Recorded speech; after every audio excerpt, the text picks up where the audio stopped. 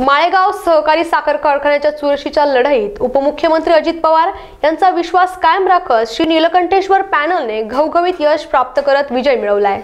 माळेगाव सहकारी साखर कारखान्याच्या निवडणुकीत राष्ट्रवादी काँग्रेस पुरस्कृत श्री निळकंठेश्वर पॅनलनं सोळा जागांवर विजय मिळवलाय.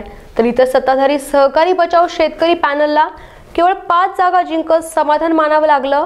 माळेगाव सहकारी साखर कारखान्याच्या पंचवार्षिक निवडणुकीच्या मतमोजणीला काल सुरुवात झाली होती. दरम्यान मतमोजणीला सुरुवात झाल्यानंतर मतदान केंद्राच्या बाहेर कार्यकर्त्यांनी गर्दी केली होती. जसा जसा गटाचा निकाल कळेल तसा तसा कार्यकर्त्यांकडून जल्लोष साजरा केला जात होता.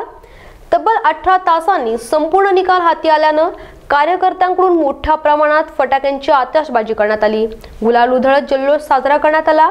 आजपर्यंतच्या इतिहासात शरद पवार व अजित पवार यांनी निवडणूक ही सांगता सभा करूनच जिंकल्या आहेत. नुकताच पार पडलेल्या विधानसभेला देखील सांगता सभा करूनच अजित पवार यांनी निवडणूक जिंकली होती. मात्र माळेगाव सहकारी साखर कारखान्याची निवडणूक हे अजित पवार यांनी सांगता सभा करून देखील निवडणुकीमध्ये बारकाईने लक्ष घातल्यानं ही निवडणूक चुरशीची ठरली होती. निवडून आलेल्या सर्व उमेदवारांच्या वतीने आपल्या सर्व चॅनल्सच्या माध्यमातून आमच्या सभासदांचे मनपूर्वक आभार व त्याचबरोबर धन्यवाद देऊ इच्छितो. आज खऱ्या अर्थाने हा एक विजय जो आहे तो दादांच्या नेतृत्वाला आणि दादांची मान आपल्या राज्याच्या राजकारणामध्ये ताट ठेवण्यासाठी सभासदांनी जो दिलेला कौल आहे तो आम्ही मान्य करतो. इथून पुढं इथून पुढच्या काळ काळामध्ये दादांनी दिलेले शब्द त्याचबरोबर सभासदांचं हित असेल त्याचबरोबर भाऊ असेल या सर्वांची जी दादांनी दिलेली हमी ती आमचे संचालक मंडळ आमच्यामार्फत आणि दादांच्या मार्गदर्शनामार्फत करेल त्याची मी ग्वाही देतो. Suraj Devkate Star Maharashtra News Baramati.